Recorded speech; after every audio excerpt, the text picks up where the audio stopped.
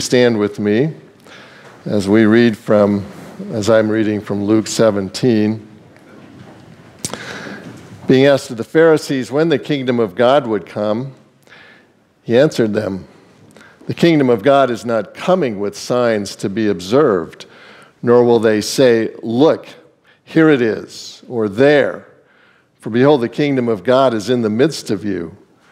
And he said to the disciples, The days are coming when you will desire to see one of the days of the Son of Man, and you will not see it.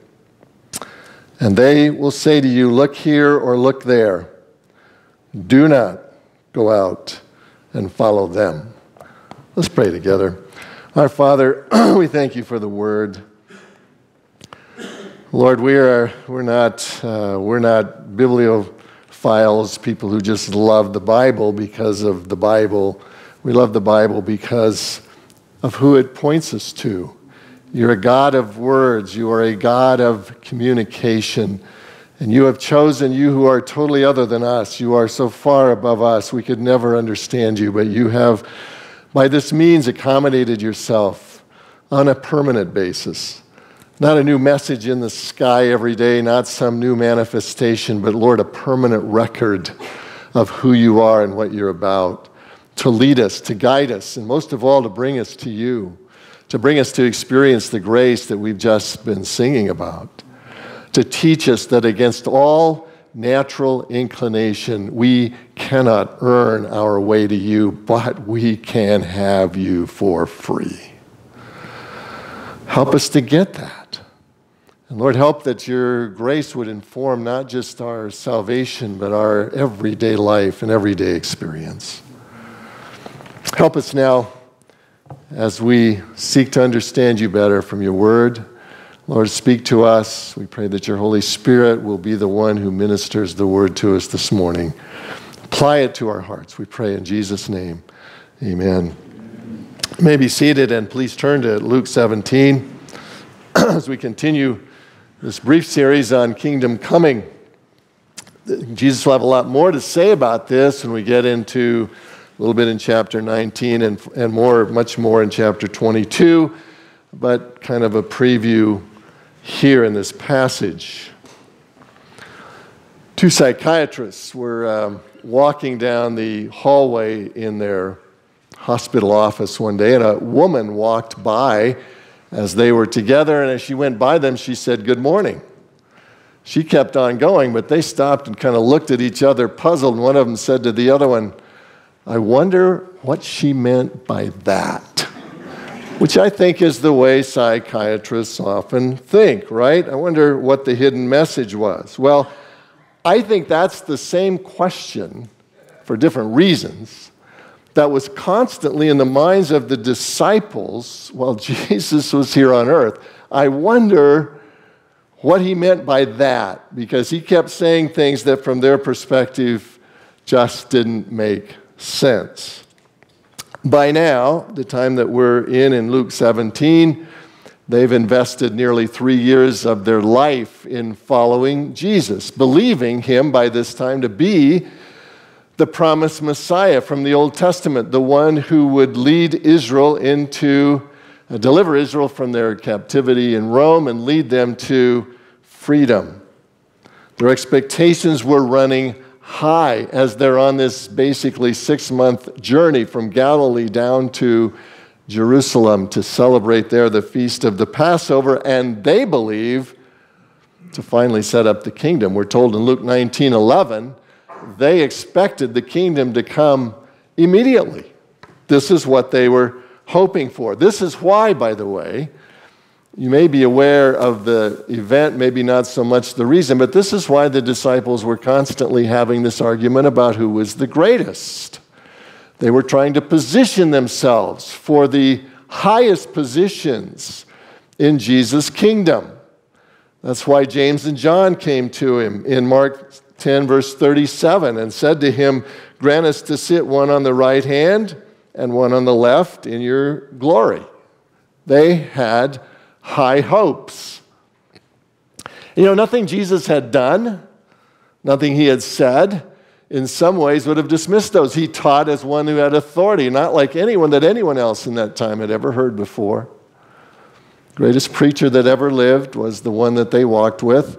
The miracles that he did, of course, were absolutely unprecedented in the history of the world, and so they thought they had the right guy for sure. And yet, he kept saying these strange things, right? Like that he was going to go to Jerusalem to suffer and die and be raised again. And they just, you know, they just looked at each other like, boy, Jesus is deep. I, I, I don't know what he means, but he is really deep. I don't know what he means, but this is, you know, not what we exactly thought was going to happen. When the Pharisees came and asked Jesus, okay, when is the kingdom coming? You've been talking about it for three years. When is it coming? And Jesus answered them, The kingdom of God is not coming in ways that can be observed. And the disciples heard all of this, and their heads were spinning. And they're wondering, what I wonder what he meant by that.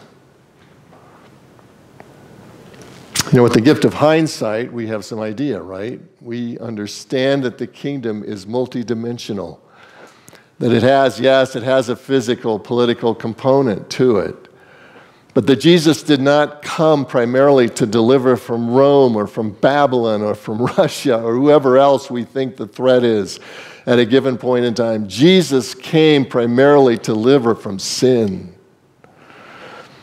Now, the disciples were believers by this time. They had exercised faith in Christ. And so the spiritual element of the kingdom that was so important and that was the precursor to everything was, was in fact what they had already experienced.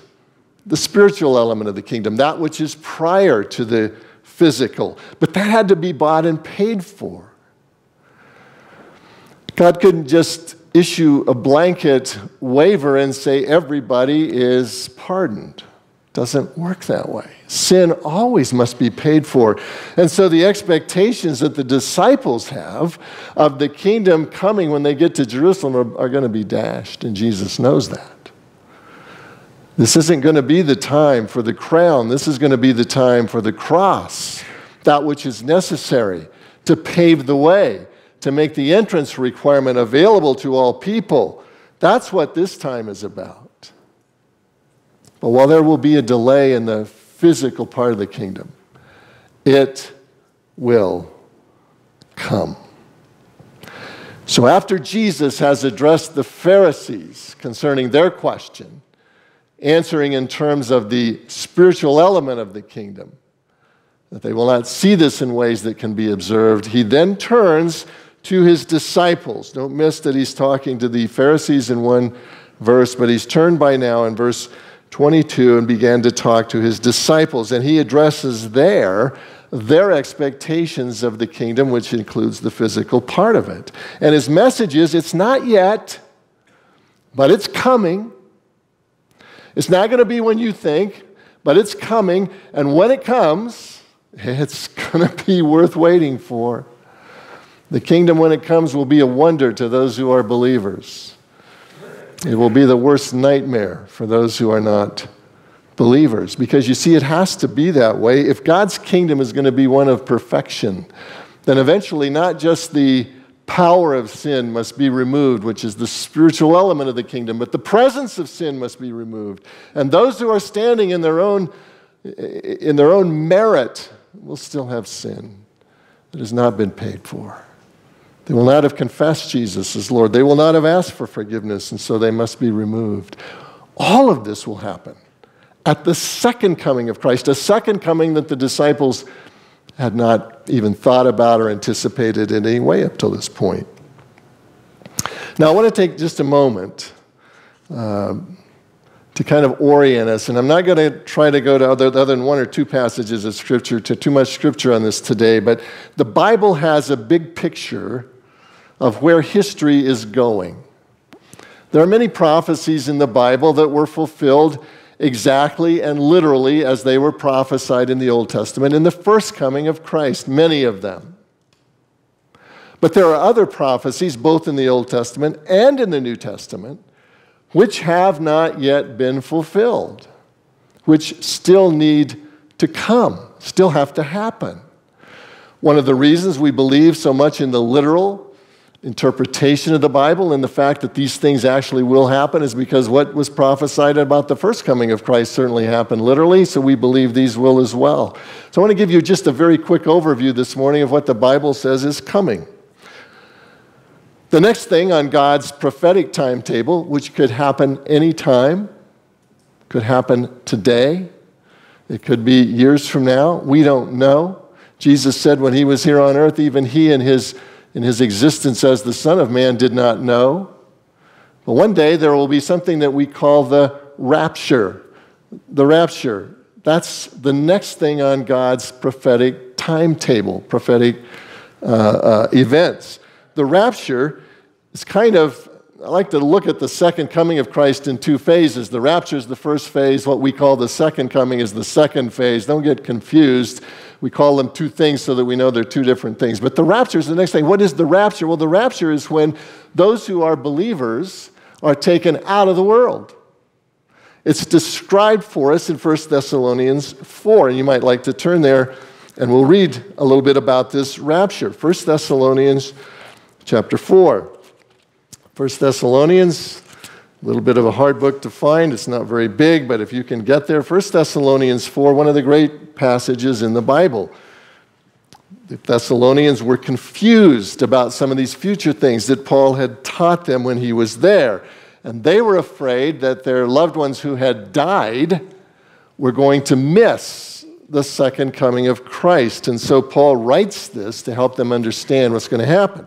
Here's what he says 1 Thessalonians 4, beginning in verse 16.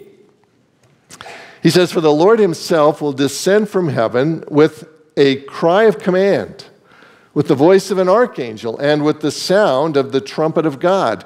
And the dead in Christ will rise first. So Paul's saying, Listen, don't worry about your dead relatives, they're going to be ahead of you. The dead in Christ will rise first. Then we who are alive, who are left, will be caught up that word caught up is where we get the name rapture in Latin, which is the Bible that existed from the time that Jerome translated it for the next however many hundreds of years. The word caught up is the word rapturo in Latin, so we get the word rapture from that. Caught up. Those who are alive, who are left, will be caught up together with Jesus in the clouds to meet the Lord in the air, and we will always be with the Lord.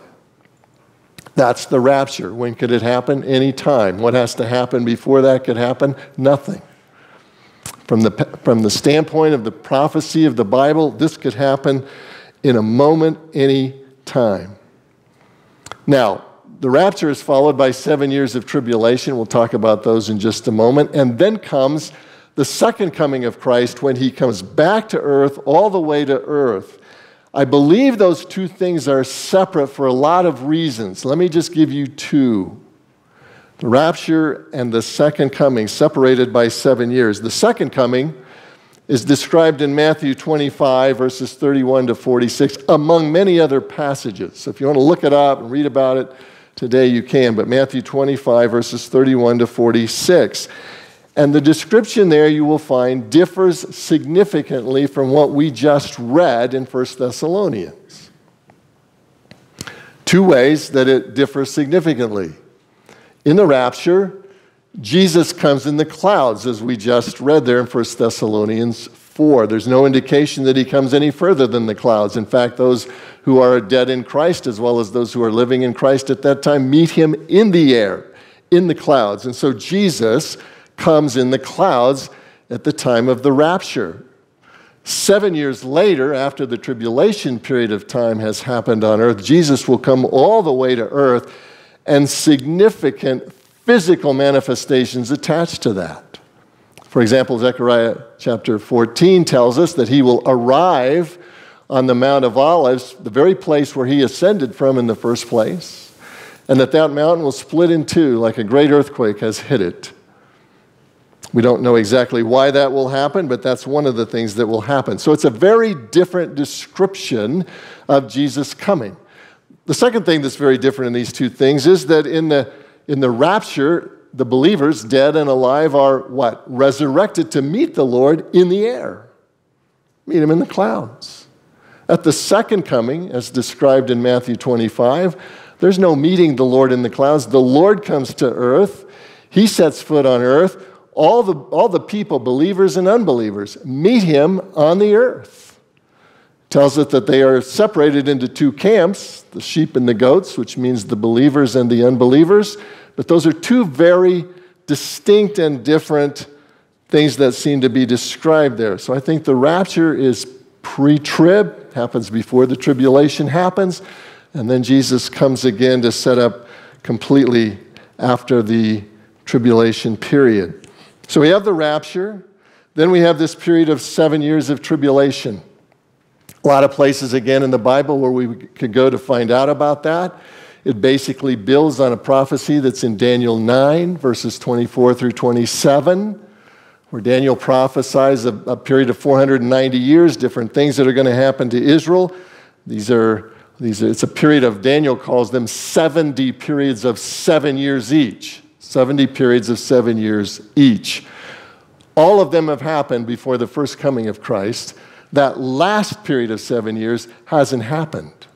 Why? We'll see more about that next week because the nation of Israel rejected their Messiah. And so the time clock that God had for Israel stopped at that point in time, but it will be restarted.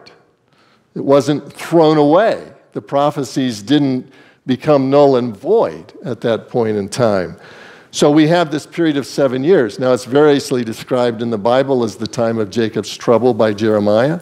Jesus refers to it as beginning, at least the, middle of it, as the time of the abomination that desolates in, uh, in, in, his prophecies uh, on the Sermon on the Mount that we will see later. And he, he, specifically refers to Daniel to let us know this is where he's coming from, what, what he's fleshing out here.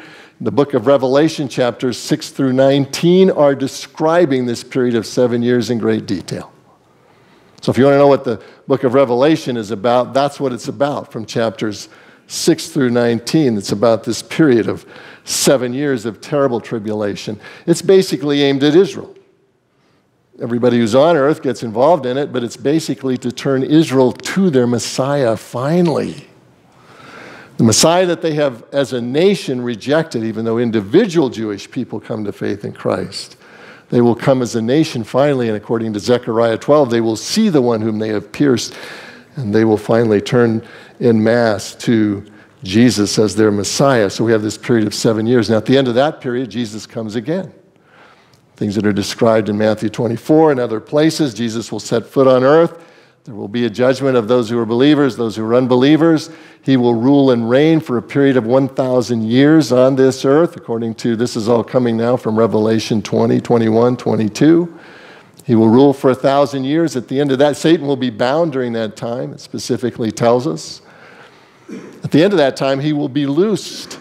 He will be able to foment through the nations a rebellion against Jesus, who's been ruling for a thousand years. A lot of reasons for that we won't go into this morning, but he will lead a rebellion. The rebellion will be put down almost immediately. There'll be the judgment of dead unbelievers who will now be resurrected to meet their final judgment.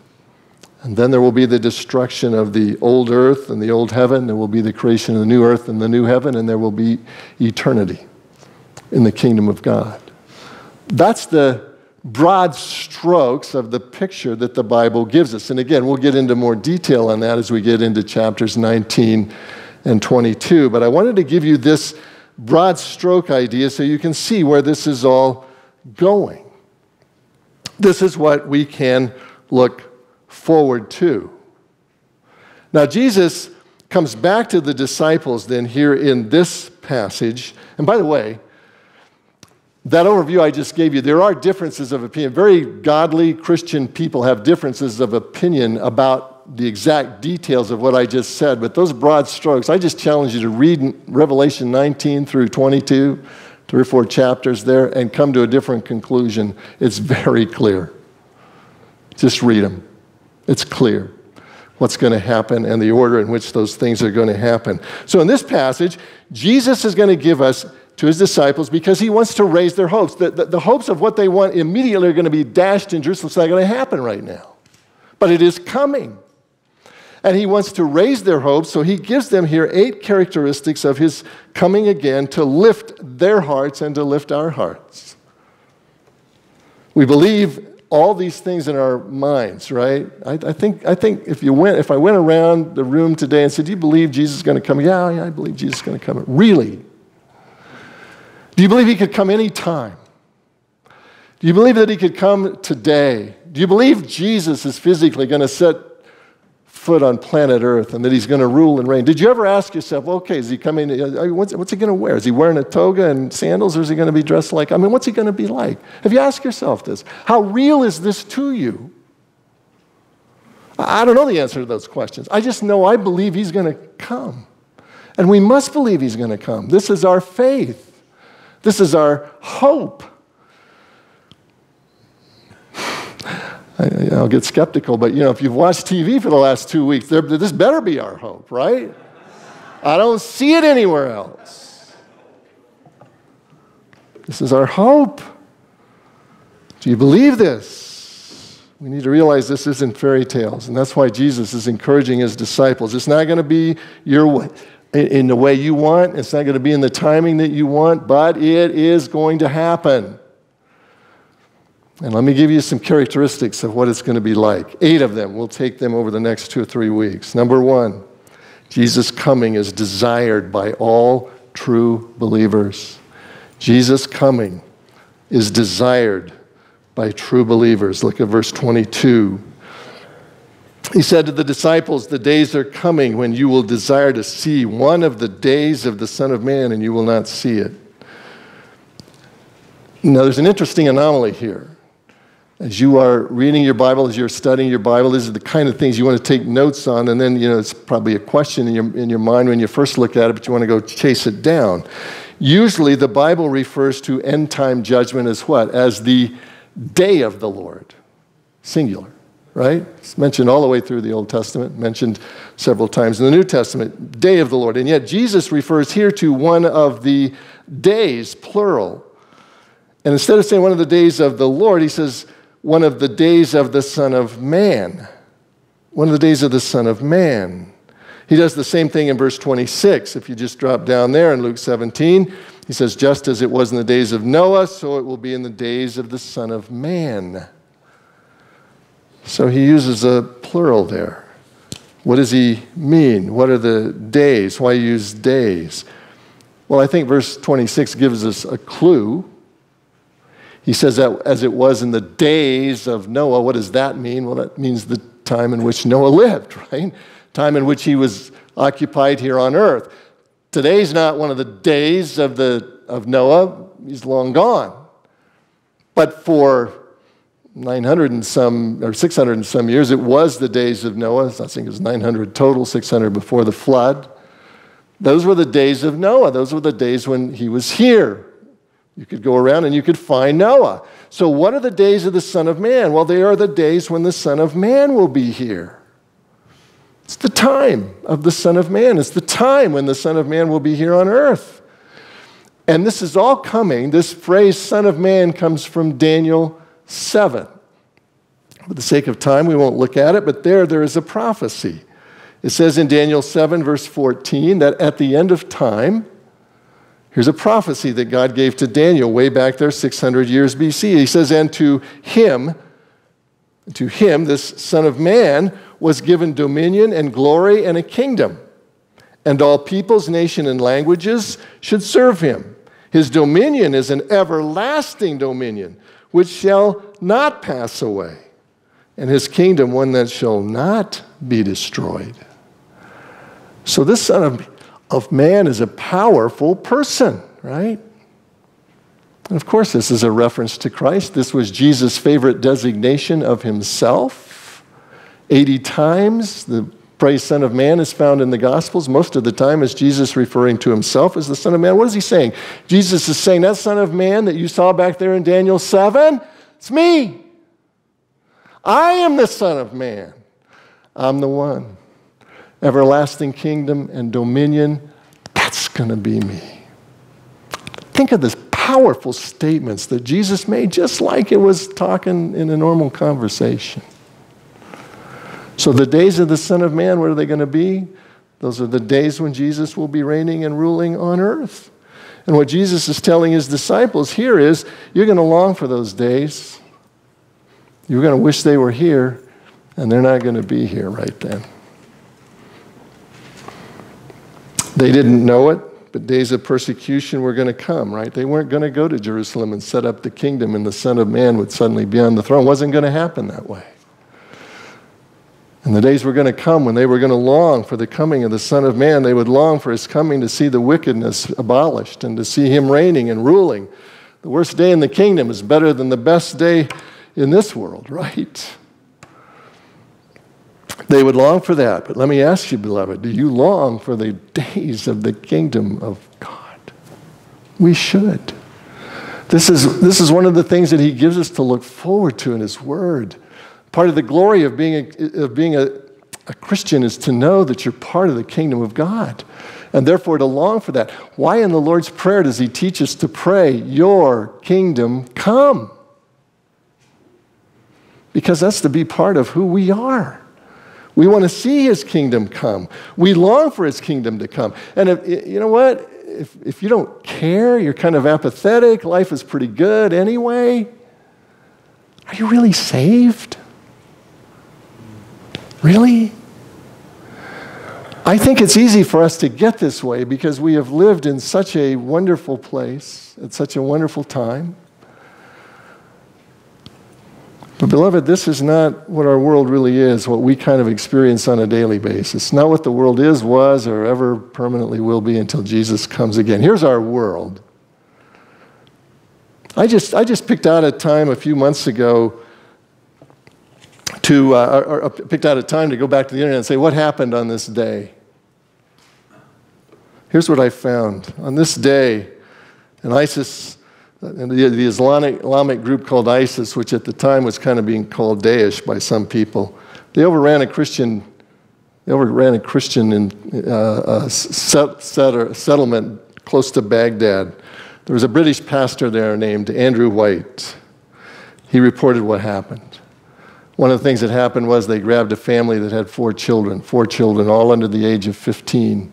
They brought those children in and they said, Listen, you just need to swear allegiance to Muhammad. Just say that you will be, that you will follow Muhammad. Just promise that you will follow Muhammad. The children wouldn't do it. They said, We're followers of Christ, all under the age of 15. So this went on for a little while until finally the soldiers said, Listen, either pledge allegiance to, to, to Muhammad or we're, or, or, or we're going to kill you. And for the last time, those four children under the age of 15 said, No, we cannot do that. And they were decapitated right in front of their parents. This is the world we live in, beloved. I, I, I think, yeah, I don't know what's the worst, that or that, that our own country didn't, doesn't seem to care too much about what ISIS is doing. it's finally hitting enough home that we're getting around to it. But you know, they have they have killed families here and there. They've gone into Christian communities, said, "Listen, just pay a, just pay us a tax, and we will let you go." And they pay the tax, and then they take them out and behead them anyway. You've seen it on, on television. But we don't just have that. We have murder in our streets on a regular basis anymore, right? Doesn't matter whether you're talking about Dallas, Texas, about Baton Rouge, Baton Rouge Louisiana, or, or Fulton, Missouri. What was the one I heard this morning? I've forgotten already where it was, but it, you know, another one. And uh, here we go. This is the world we live in. Wickedness is the norm. We don't get it because we live in this nice little bubble. We need Jesus. We need him to come again, and we should be praying for him to come again. People who are Christians love the kingdom. They long for the kingdom. They want to see the kingdom come because they realize the world we live in will never change until that happens. Uh, let me tell you what, and this, and, and this book will help document it for you in case you're in any doubt. You know, things are rapidly changing in our own little country here. Those who believe in Jesus Christ and are exercising their faith according to what the Bible teaches are paying a price already in America. People are losing their homes in some cases, losing their jobs in other cases. The courts are beginning to decide more and more and against the Christian faith. It is happening here. we will suffer. D.A. Carson says all that's required is if you live long enough, one will suffer. You just want to make sure your suffering is for the sake of Jesus Christ, right? But be prepared. C.S. Lewis, I love how he pictured this in his Narnia Chronicles. What is Narnia? Um, I think you could read those and not quite get where he's going, but what Narnia is is a representation of the earth that we live in, the world we live in, right? And he pictures it. He pictures it as a place where it's always winter and never Christmas.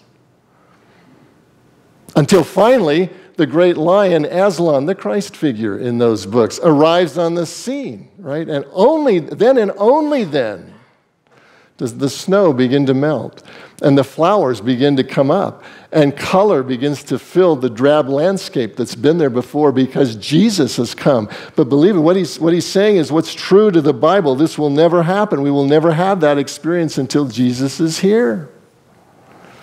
Jesus coming again. Jesus is going to set up his kingdom, but the timetable is his. So we need to be living for him. That's why he urges us to hold loosely the things of this world.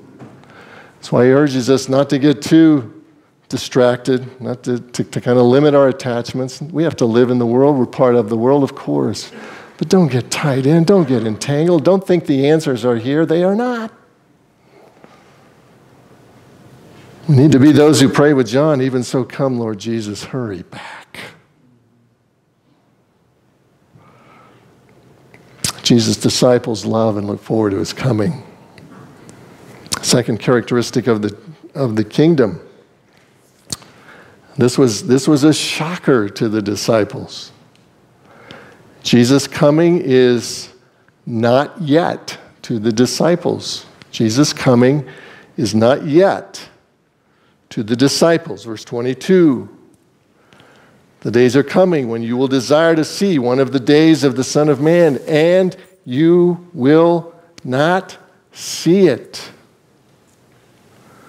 Now keep in mind that from Luke 19 11, we know that the disciples are expecting the kingdom here and now. They've dedicated three years of their life to this. They're looking for the payoff. They've accepted Jesus as their Lord, as their Savior, and now they think we're going to get, we're going to finally see the, the end of this. We're going to see the fruit of this. We're going to get the payoff. And then Jesus goes on and describes a little bit about what the kingdom is going to be like when the culmination actually comes, but then he throws in these chilling words, which you're not going to see. Whoa. You're not going to get to see it. You will long for it. Rough days are ahead. There's going to be persecution. At the end, there will be the kingdom, but you will not see it. Now, what did Jesus mean? Did he mean that they would never see the kingdom? Of course not. You're back again to Revelation 20, 21. You'll find out that the names of the 12 apostles are written into the foundation stones of the kingdom. They're going to be there. But what is Jesus saying? Not in this lifetime. Not in your lifetime. You're not going to see the kingdom. Now, he's not saying that necessarily to our lifetime because now the, king, the, the coming of Jesus is imminent. But for the disciples, not in your lifetime. That's what he was saying. Guys, I know you're expecting the culmination and the coronation in a couple of weeks when we get to Jerusalem, and I just have to tell you, not going to happen. It's not going to happen the way you think. It's not the timetable this is the time for the cross that has to precede the crown. This is the time when the forgiveness has to be paid for. This is the time when the deliverance from sin will be provided so that ultimate, ultimate political deliverance can be provided. But this is the time when the kingdom will be bought and paid for. You're going to see that. But you're not going to see the outward expression of the kingdom, the culmination of the kingdom that you're looking for. It's going to be delayed beyond your lifetime. Now, I'd already given a hint of that in Luke 9 27. If you just turn back a couple pages, Jesus had said to the disciples at that point in time, Luke 9 27, says, But I tell you truly, there are some standing here who will not taste death until they see the kingdom of God. You're saying, Well, it doesn't say they're not going to see it, it says they are going to see it. Well, read it again. What it says is there are a couple of you, there are some standing here who will not taste death. We know who those are. Who were they? Peter, James, and John. And in what sense did they see the kingdom? The verses that follow immediately, beginning in verse 28 of Luke 9, you, you have Jesus taking these three up to the Mount of Transfiguration, where all of a sudden in the middle of the night they saw Jesus light up like a light bulb. His being, his clothing, his everything. They were seeing a preview of the kingdom. They were seeing the glory of God being evident in the person of Christ. They were seeing the deity of Christ break through the human veil that had been there through his whole life up till that point. And they were getting a preview of the kingdom of God. Here comes Moses. Here comes Elijah. Here comes God the Father in a cloud and speaking to them. What are they seeing? They are seeing the kingdom in preview. Those are the three who didn't taste death until they saw the kingdom. But the very fact that Jesus says there are some who will not taste death until they see the kingdom means that there are some who will taste death before they see the kingdom, right? And in fact, what Peter, James, and John saw was the kingdom in preview form. They saw it in a very, you know, couple of hours or however many hours they were up on that mountain that night, and that was it for them too. They also are part of the group now in Luke 17 that Jesus says you're not going to see it in your lifetime. What they saw as a preview isn't going to happen until later. And so they all die before the kingdom in its full and complete form comes. You will not see it. So the disciples who were working toward this end did not get the chance to see it. Now turn with me to Acts 1. Turn with me to Acts 1. Because as Jesus is saying, you're not going to get to see it, they must have been saying to themselves, I wonder what he means by that. And you would think that they would get it, but when we come to Acts 1, we find out that even after he has been died and he has been resurrected, it's, it's still not coming through to them, even though he's told them. The disciples, you know, I, you'd like to say they're dense. I know I wouldn't have done any better in their, in their shoes. But Jesus kept saying multiple times, Matthew tells us, time after time in those last six months, he told them, I'm going to Jerusalem, I'm going to die, I'm going to be raised again. I, am I'm, I'm going to suffer and I'm going to die and I'm going to be raised again. And the disciples were saying to themselves, I wonder what he meant. And, and, and Mark tells us he told them plainly, plain English, only it wasn't English, it was Aramaic, but whatever. You get the point. As plain as you can tell, he told them. And they weren't getting it. And now we come, he's, he's, been, he's died, he's been resurrected, everything's going along fine. And here he is six weeks later, and he's still around, he's still teaching them. And so they do the natural thing as they come out to the Mount of Olives one day. Acts chapter 1 and verse 6. And they asked, Lord, will you at this time restore the kingdom to Israel? Still hasn't dawned on them. What's going on? And Jesus patiently, patiently loved the patience of God. We all need the patience of God desperately.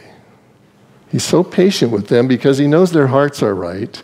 He tells them it's not the time to speculate. He tells them, listen, this is for God to know. This is not for you to know. It's not for you to know the times or the seasons. Stop worrying about when this is going to happen. But here's what I want you to do I want you to go be my witnesses. I want you to go to Jerusalem. I want you to go to Judea. I want you to go to Samaria. I want you to go to the ends of the earth. You're going to be my witnesses. Okay. But still, how's this going to happen?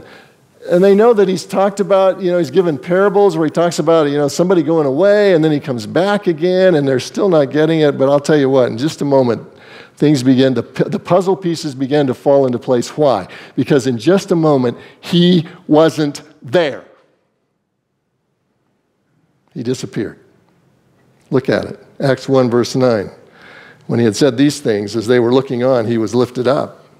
And a cloud took him out of their sight. And while they were gazing into heaven as he went, behold, two men stood by them in white robes, and they said, Men of Galilee, why do you stand here looking into heaven? This Jesus who was taken up from you into heaven will come, will come, will come. Right? He will come. He's coming again. He will come in the same way as you saw him go into heaven. I think this is about the point at which time they began to say, So that's what he meant.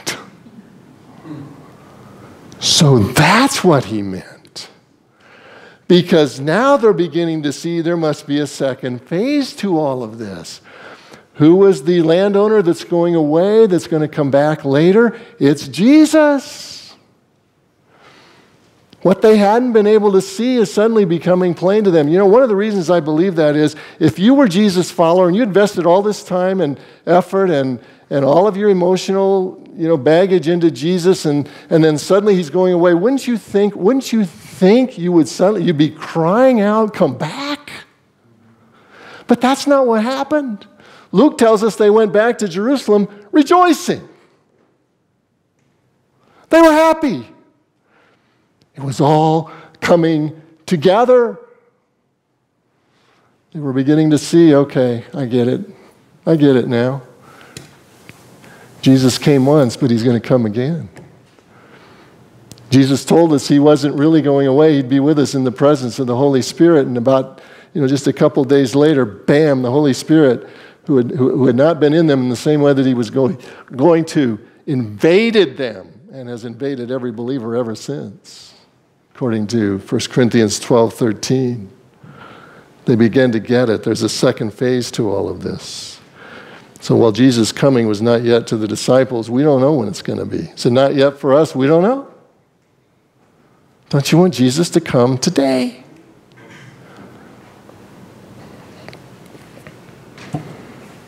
Thirdly, back in Luke 17.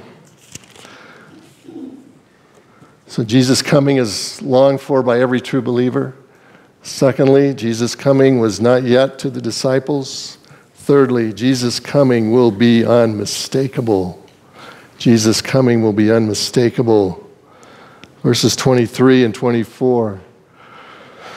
Now remember, he's just described the spiritual side of the kingdom of God and said, You're not going to be able to see that. You're going to see the kingdom's going to come and you're not going to be able to observe it. Why? Because the coming of the Spirit of God into the heart of a person, you can't see it. I can't see it.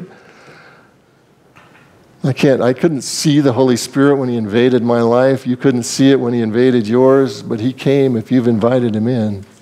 It's as real as you sitting here this morning. But you can't observe that. But there's this physical phase that is coming. So Jesus says in verse 23, He says, And they will say to you, Look here, look there. Don't go out and follow them. For as the lightning flashes and the lights from the sky lights and lights up the sky from one side to the other, so will be the Son of Man in his day. When Jesus comes again, and Matthew makes an even bigger point of this, and he will in Luke 22.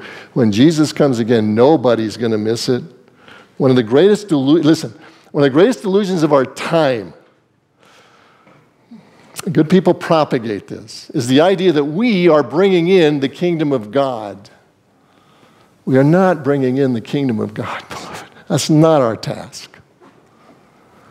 Jesus is going to tell these disciples, little flock, I give you the kingdom.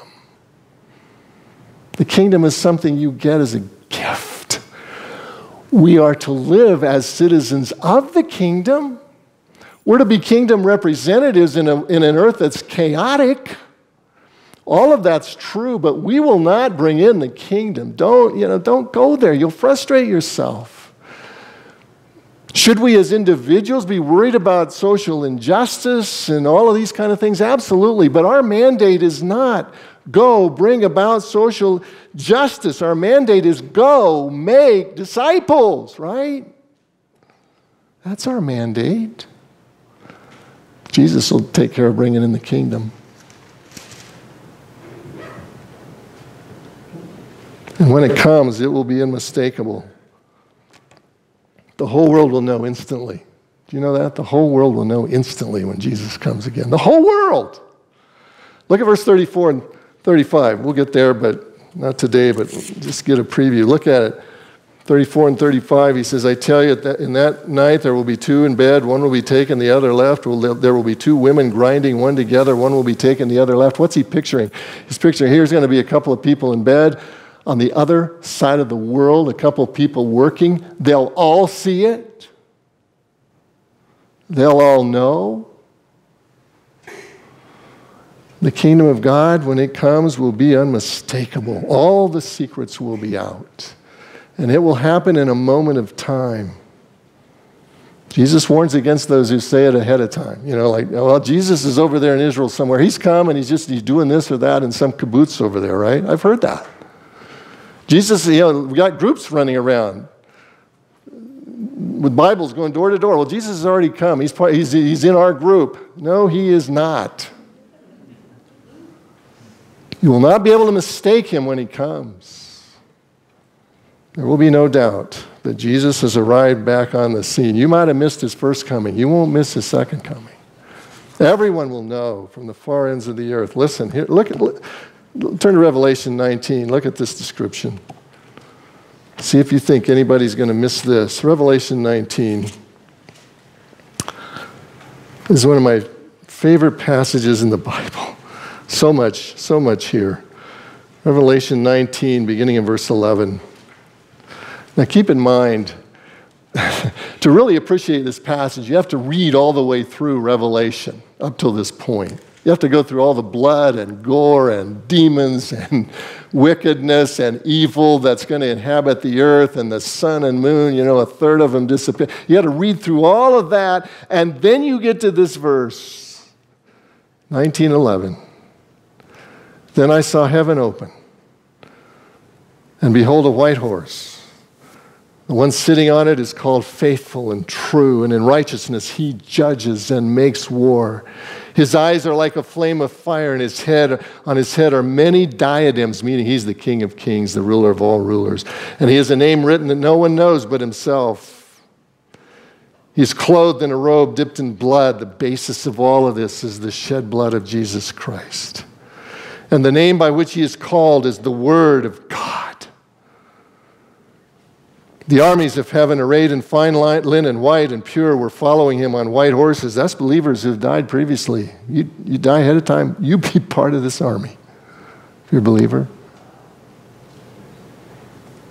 From his mouth, verse 15, comes a sharp sword with which to strike down the nations, and he will rule them with a rod of iron. He will tread out the winepress of the fury of the wrath of God the Almighty.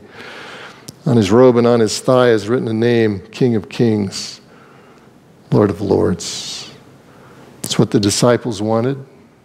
This is what we should want. It's what we should desire. It's what we should long for. It's what we should pray for. It is coming. It's just not yet. When's it going to be? I don't know. I hope it's today.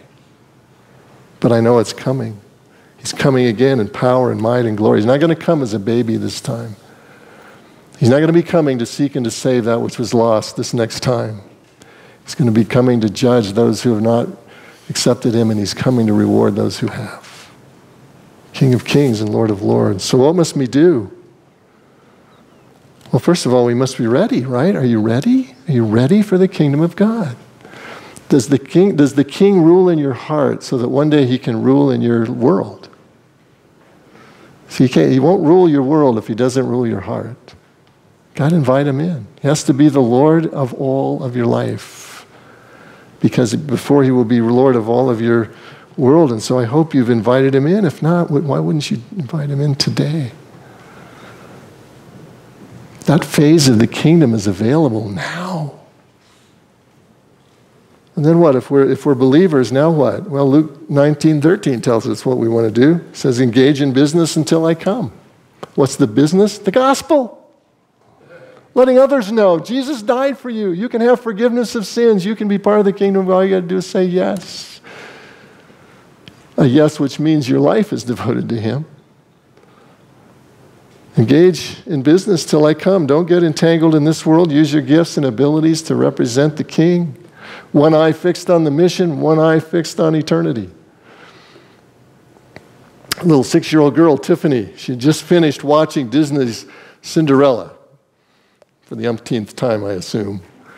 Um, she said to her mom, she said, Mom, wasn't this great? She said, I, I, I hope I meet my prince someday.